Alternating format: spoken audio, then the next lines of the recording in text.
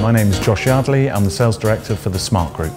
2019 uh, represents for the Smart Group the launch of several new products onto the market.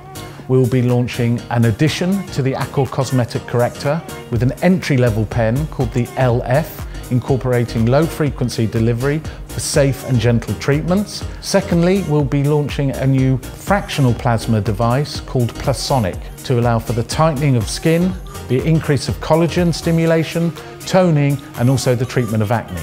Thirdly, part of the Smart Group will be launching Smart Mezzoskin. This will be a new fractional meso device that will penetrate the skin for better absorption and better results. I think it's vital for any professional in the beauty or aesthetic sector to attend Professional Beauty London this spring to understand what global trends are happening around the world and how they can implement both the new technologies, the theory and practices, providing a professional service to the UK market.